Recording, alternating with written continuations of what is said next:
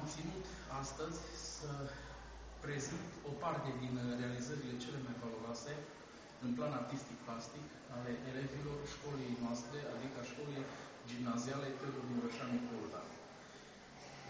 Este foarte important să subliniez efortul pe care îl depun zi de zi acești elevi pentru a realiza lucrări de foarte bună calitate și pentru a-și uh, desăvârși uh,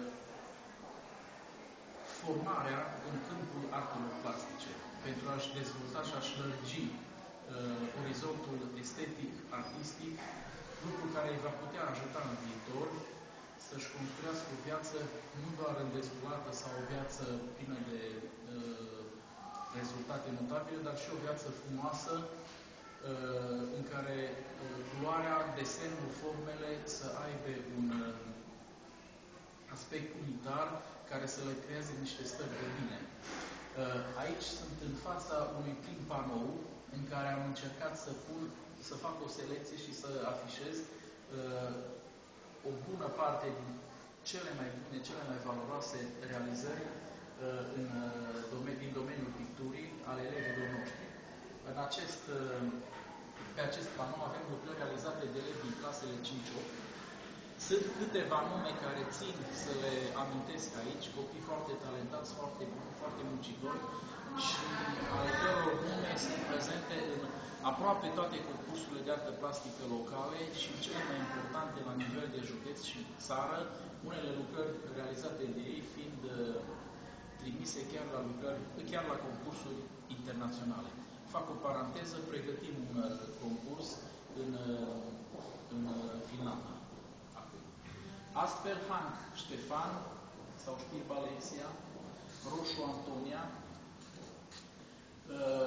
o parte din copiii talentați și Teoan Diana care se pregătește în prezent pentru a intra pentru admiterea la Liceul de Arte Plastice Romul Stadea din Cluj-Napoca, Lonca Diana din clasa 7 -a, Dan Tudor, un băiat foarte talentat atât la desen cât și la materiile exacte, la matematică, Misa Rășadina din clasa 8 -a, Oșan Gianina, Văidean Alexandru, un băiat foarte serios, foarte sobru, dar uh, a cărui, a cărui preocupări artistice sunt deosebite. Uh, de asemenea, uh, în alte zone din spațiile interioare ale școlii avem și alte nume și aici vreau să amintesc două nume importante din clasele mici, copii care uh, participă și la cercul de pictură pe care îl organizez vinerea după masa, copii care vor să-și întregească, vor să facă o, mai, o o performanță în domeniul artelor plastice, venind la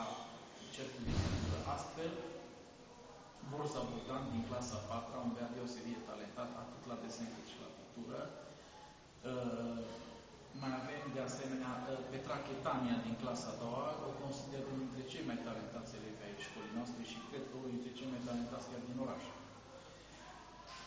de asemenea, coridoarele școlii noastre, atât parter cât și etajul 1, sunt uh, populate de o mare diversitate de lucrări. Uh, observăm și pe panourile expuse uh, și care sunt în discuție acum, o mare diversitate de preocupări. Avem naturi statice, avem peisaj, avem compoziții cu fructe și frunze, avem portrete, avem compoziții cu personaje, de asemenea, tehnicile în care sunt realizate sunt diverse. Uh, observăm diverse preocupări cromatice, de la folosirea, abordarea, adică a contrastelor cromatice fundamentale de bază, uh, până la uh, folosirea unor tehnici mai, mai, mai, mai delicate, mai stinse, în care griurile colorate, diafane, sunt dominante în aceste lucrări. Un lucru important și care mă bucură este diferența și diversitatea acestor lucrări. Se observă amprenta specifică a fiecărui autor. Pot să recunosc autorul oricărei lucrări, văzând pur și simplu lucrarea, nemai căutând numele pe spatele lucrării. Deja și-au format un stil. O bună parte dintre acești elevi au deja un stil propriu, bine cristalizat și fundamentat. O parte dintre ei, vreo cinci elevi, vor fi am credința că vor fi elevi ai Liceului de Arte Plastice Romul Sladea din toamnă, Ei participă atât la pregătirile organizate de mine în această școală, cât și la pregătirile organizate lunea, marța și miercurea la Liceul de Artă.